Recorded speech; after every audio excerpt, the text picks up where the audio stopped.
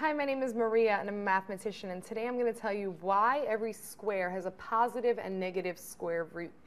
So if, for example, we are trying to find the square root of the number 16, you know that it is positive or negative 4. And here's the reason why.